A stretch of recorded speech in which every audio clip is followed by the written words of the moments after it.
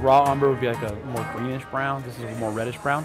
So if you want it to be warm, use this one. We offer different levels of ceramics classes. We offer different levels of basic art classes. We also offer the choir classes. Art's really important for kids to have because it gives them a chance to work with their hands, learn something new, be creative, and it just makes them better thinkers. I'm in ceramics because I like to like sculpt a lot because I'm into art, but I, I can't really draw. It's more like hands-on. This part out here is easy. It's just the part that's got the, the glaze underneath it. I mean, that's like boom, done, right? We do everything from sculptural work to throwing if the students are so inclined, and they learn about the different stages of clay.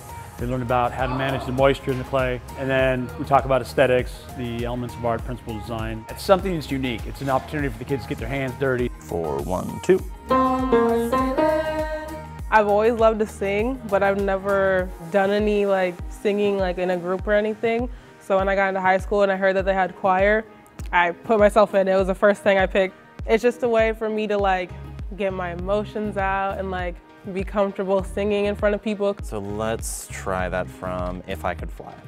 If I could fly like birds on high, then straight to perfect. Day to day, we rehearse music that we plan to perform for our concerts. Part of learning any art is to learn how to present it. For us, we have to learn how to do what we do in front of people, which can be another level of anxiety and stuff and I find that helps build skills for them. The purpose of these projects is to learn how to balance, how to make something from scratch, how to use space and form and shape.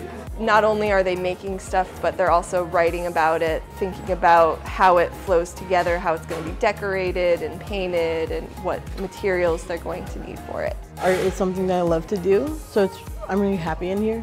If I could stay in here like all day, I really would. It's very inclusive and especially for shy people, it's like a small kind of community and everyone really supports each other and it's just something everyone should try.